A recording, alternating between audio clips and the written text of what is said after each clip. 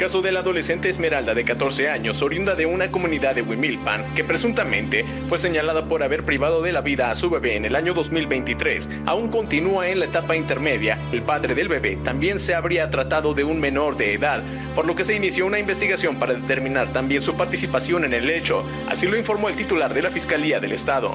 Nosotros no tenemos elementos para sustentar que haya existido una violación. Se notificó la resolución en la que se determinó que no existían elementos para la configuración de ese delito y por esa razón, eh, una vez que estuvo notificada, también se realizó la instauración correspondiente de las audiencias y en las audiencias tampoco ha sido motivo o planteamiento de defensa el hecho de que hubiese existido una violación. En tanto, autoridades de la Fiscalía indicaron que las aseveraciones de que se cometió una violación en agravio a la joven Esmeralda habrían sido difundidas sin fundamento al no existir pruebas ni denuncia previa. Sin embargo, activistas sostuvieron que hubo omisiones en el procedimiento, por lo que ya se realiza un acompañamiento con la familia de la víctima. Generar condiciones para una adecuada defensa para, para la menor, ese es el objetivo principal, y solicitando el acompañamiento sobre todo psicológico, porque existen... Eh, pues víctimas indirectas que no han sido atendidas tampoco. Apenas acaba de empezar a recibir atención psicológica,